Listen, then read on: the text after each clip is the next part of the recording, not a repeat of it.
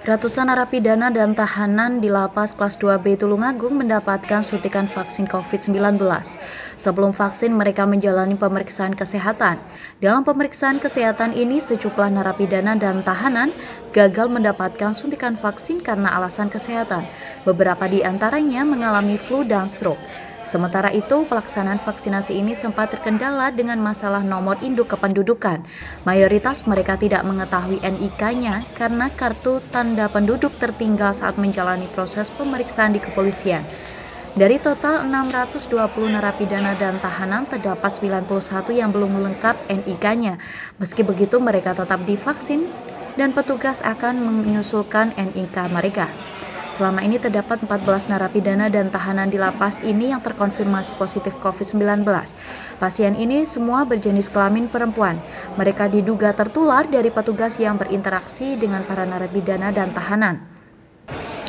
Untuk mencegah penyebaran, petugas telah menempatkan pasien di sel khusus untuk keperluan karantina. Kondisi para pasien tersebut juga telah berangsur membaik. Mereka direncanakan akan mendapatkan vaksin tiga bulan mendatang. Kami dari Lapas Tulungagung bekerja sama dengan uh, Rumah Sakit Bayangkara melaksanakan kegiatan vaksinasi massal bagi seluruh uh, warga binaan pemasyarakatan, baik narapidana ataupun tahanan. Pada saat ini kami berjumlah 620 orang. Jadi target yang apa disampaikan tadi oleh rekan-rekan uh, dari Bayangkara bahwa kita kan untuk diupayakan untuk keseluruhan warga binaan untuk mendapatkan vaksinasi sesuai dengan apa arahan dari pimpinan kami dari Direktur Jenderal Pemasyarakatan.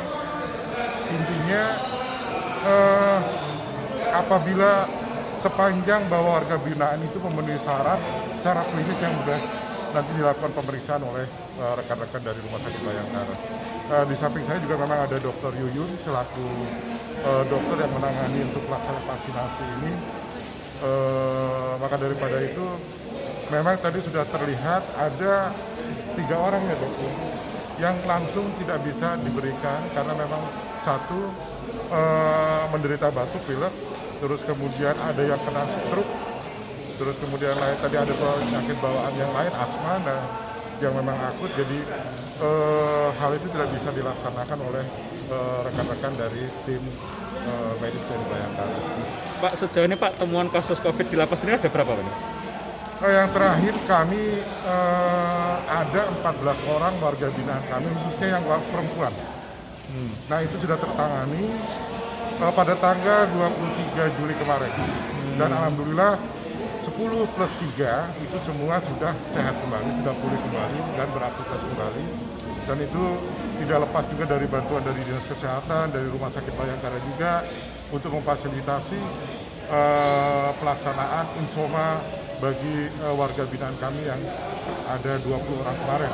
Sama yang yang yang positif memang yang positif memang 14. Tapi kami anggap karena mereka dalam satu blok isinya 20 orang, maka mau tidak mau secara keseluruhan yang 20 orang itu kami lakukan insoma. Pelaksanaan vaksinasi terus digencarkan oleh pemerintah pusat. Mereka mengejar target herd immunity untuk menekan tambahan angka kasus positif COVID-19 yang terus bertambah setiap hari. Dari Tulungagung, Sogi Pamungkas, KSTV.